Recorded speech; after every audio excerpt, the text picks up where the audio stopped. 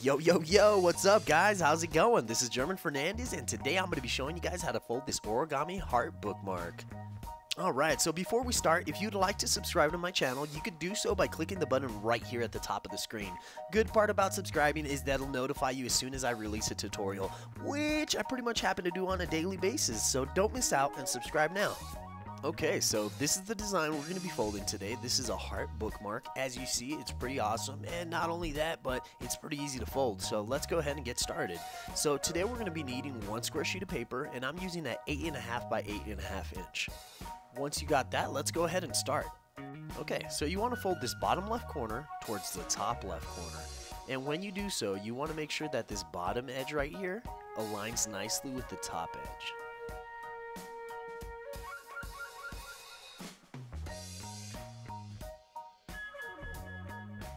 Once it's nicely aligned, let's go ahead and crease it down. Once you've done that, let's go ahead and open it back up. Alright, so now we want to fold this right upper corner towards the left upper corner.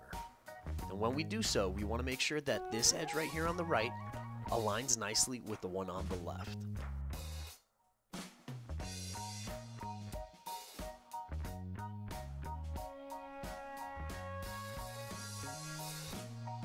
Once you got that nicely aligned, let's go ahead and crease it down. Alright, so once you've done that, let's go ahead and open it back up. And now what I want you guys to do is fold this bottom edge right here so that it aligns nicely with the middle crease. So go ahead, take your time, and make sure that you get it, get this fold as nicely as you can. Remember guys, like I always mention in a lot of my videos, every fold is super important. Take your time and align it as nicely as you can. Alright, so now that you've done that and it's nicely creased, let's go ahead and flip over the piece of paper.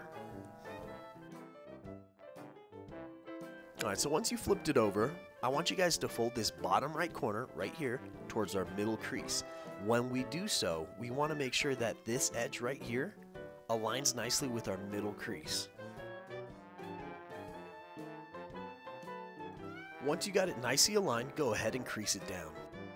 So once you've done that, let's repeat the same steps to the left side. So we want to fold this corner towards our middle crease. And when we do so, we want to make sure that this bottom edge right here aligns nicely with our middle crease. So let's go ahead and do that.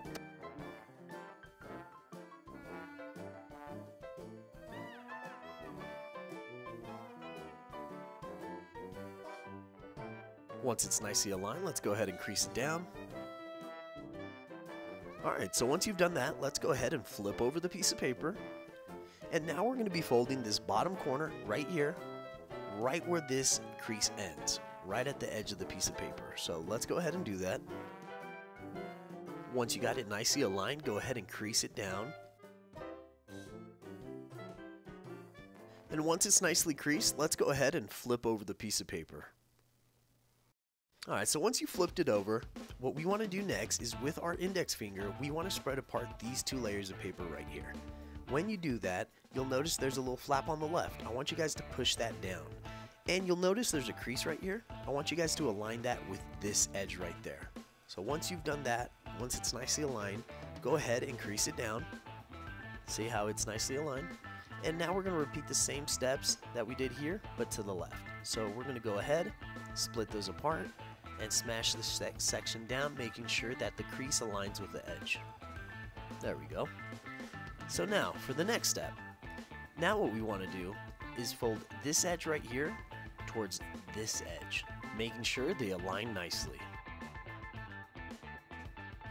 Alright, so once you've done that and it's nicely aligned and creased, what we want to do next is give some shape to the heart. So we want to fold this corner upwards a little bit, so probably about a quarter inch or a little less.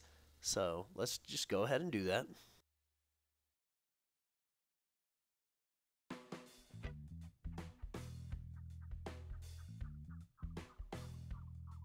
Alright, so once you've done that, let's go ahead and repeat the same steps we did here, but to the left. So we want to fold this edge right here towards this other edge, making sure they align nicely. Alright, so once you've done that and it's nicely creased, what we want to do is repeat the same step we did right here to the right. We want to fold this tip upwards, just so that it matches the right side. You don't want them being disproportionate and being a little not symmetrical. Um, I mean, you can if you want, but then your heart wouldn't. It would just look a little weird. So if yours looks like this, then let's move on to the next step. So what you want to do now is fold this right upper corner towards that middle crease, making sure that this edge aligns nicely with the middle crease.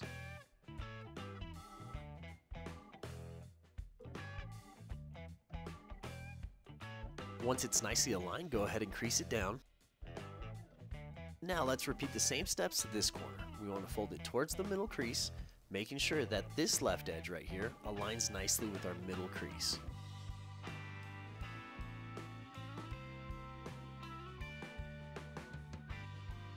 Once it's nicely aligned, let's go ahead and crease it down.